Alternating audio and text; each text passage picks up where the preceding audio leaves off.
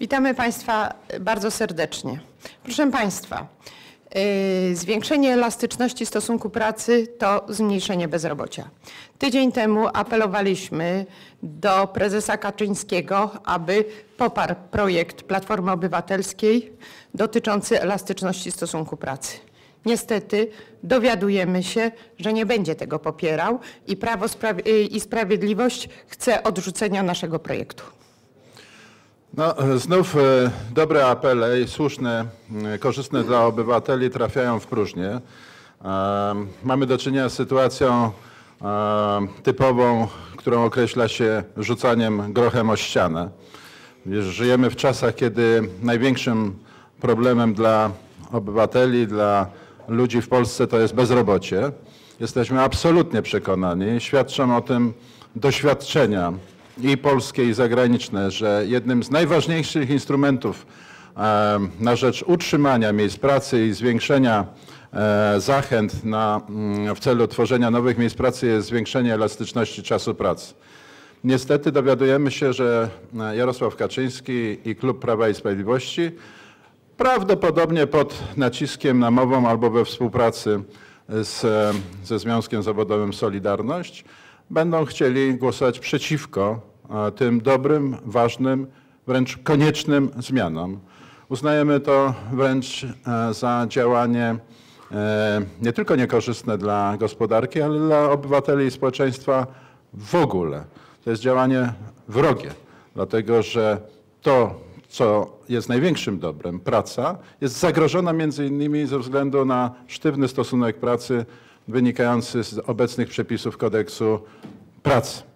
E, Doświadczenia chociażby pierwszej fali kryzysu w Polsce z lat 2008-2010, kiedy wprowadziliśmy te rozwiązania, uczą nas, że służą one utrzymaniu istniejących miejsc pracy i tworzeniu nowych miejsc pracy.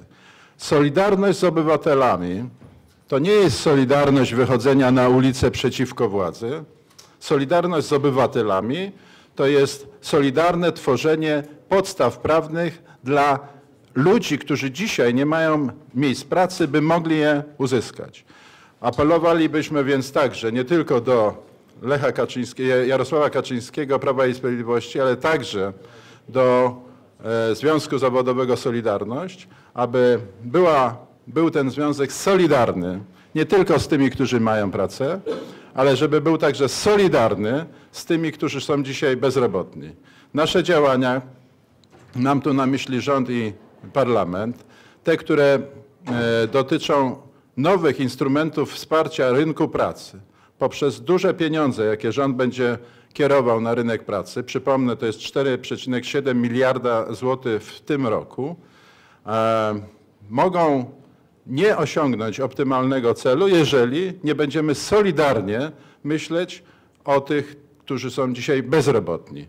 O tę solidarność apelujemy i do partii politycznych, klubów parlamentarnych w Sejmie, ale także do związków zawodowych.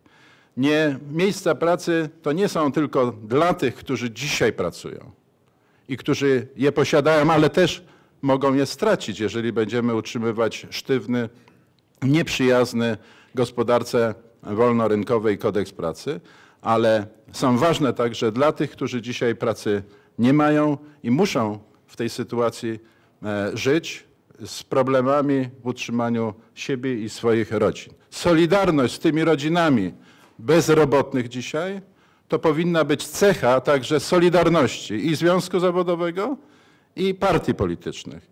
Jeżeli jutro Prawo i Sprawiedliwość będzie głosowało przeciwko zmianom kodeksu pracy, uznajemy, że nie są solidarni z ludźmi, którzy nie mają pracy. Nie są solidarni z, przed, z, e, z bezrobotnymi. Nie myślą solidarnie o ich rodzinach, ich problemach, ich życiu.